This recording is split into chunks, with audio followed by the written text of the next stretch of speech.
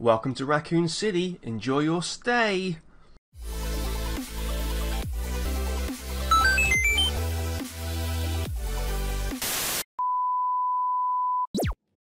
Welcome back guys, it's Raw Geek here. Yes, we're going to discuss the Resident Evil movie that's coming out soon, called Resident Evil.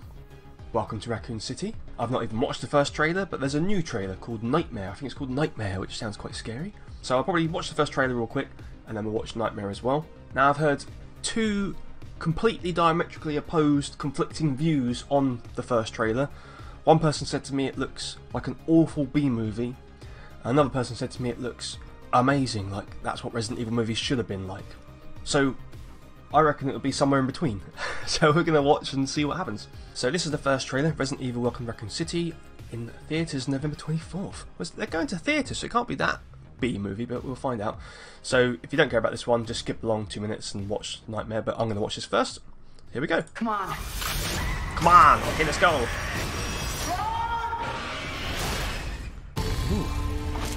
Every story has a beginning. Umbrella. Discover Big the Pharma, you see. of evil. So it's like in the 90s then. Way Okay, so back it's like, Claire. oh, it's like Your the game. conspiracies weren't true when we were kids. They're not true now. We need to expose Umbrella. Watch this. I'm afraid, Claire. I'm afraid of what they're gonna do to this town. How come... See, Umbrella, they had an incident. I'm talking Chernobyl, if you know what I mean. Ooh, what's that? People are getting sick. Uh-oh. Help Yes. us, Claire. Let the world know what's really going on. That's, that, that's why the fire's there. Not the dogs. We have to contain this. I like to contain things with my shotgun.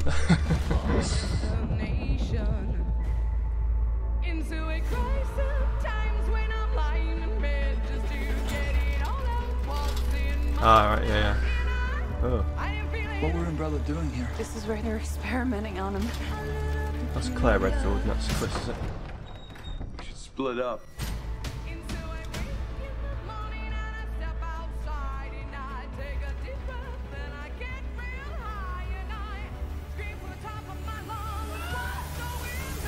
Clear. Is that a helicopter? Oh. What the? oh, that does look good.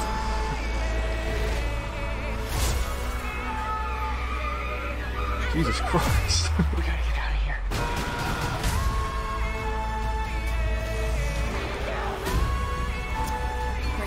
Oh. down. what the hell? Oh no. Got those things. Oh god.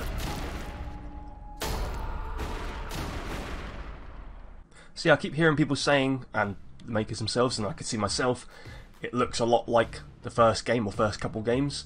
They've even got the kind of cheesy 90s graphics to go with it. But, you know, it does look a bit like a B movie, but I actually think that looked pretty good, actually. Uh, some of the characters, I was like, who's who? And I think that was like Jill and Leon, they looked like nothing like them.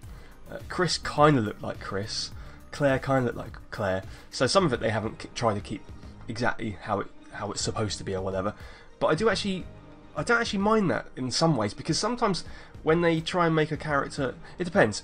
Sometimes a character's got a really unique look, and you kind of, and that's kind of part of their personality, and they should be reflected in an in a live adaptation, right? But sometimes a character just happens to look like however they look, and if you try and find an actor or actress that looks exactly like that, that's almost a bit cheesy in itself and doesn't quite work. So, you know, is what is. We're, we're now going to watch the Nightmare one and see what else they've got in store. So yeah, this is only a minute long. This is uh, the Nightmare trailer now. So I guess it's just got some extra creepy goodness. So let's uh, let's play. It's a swing, okay. Hello? Ooh, creepy. Ooh, what's that? What's your name? Oh god.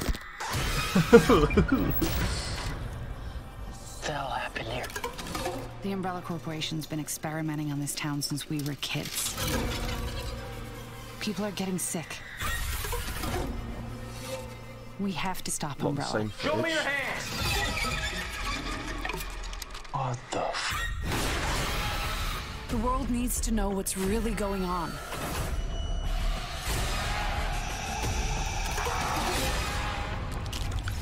Well, some weird looking things, isn't there? Right. Get out of this town! Yeah, that monster doesn't look very Welcome good. to? Raccoon City. Rated R. Exclusively in movie theaters November Rated R, which 24th. I'm not really sure there was all that much new footage there, really, but there was a couple extra bits, including the doll, uh, the doll scene. So that was pretty freaky. Walking in as there's this doll. Oh, yeah, some of those creatures are pretty cool. The one with which is just CGI looks a bit lame, but the the makeup and the zombies and that kind of thing they look good. But yeah, it's rated R, so they're going for it. It's going to be you know gory and stuff like that, which is pretty cool. All in all, it looks pretty cool. I'd definitely give it a watch. Uh, I'm not sure I'd go to cinema for it. It seems odd that it's coming to cinema. It feels like it probably would usually be a director sort of video, you know, digital one. I'm not sure, but yeah, I, I thought it was pretty cool. I, I want to see some uh, cool zombie action, definitely. What about you? Do you think this looks good? Do you think it's close to source material, or do you think it's too close to source material in some ways and not enough in other ways? I don't know. Let me know down below. So guys, if you like that, please click like, make sure you subscribe for more videos like this and I'll see you on the next video. And until then, remember, you should always trust big pharmaceutical companies. They're just out for our best interests. Okay, bye. Guys, if you're still here, you're awesome! Uh, but as you are still here, why not check out some of my other videos? Oh, and if you haven't already, please click subscribe. Laters, haters.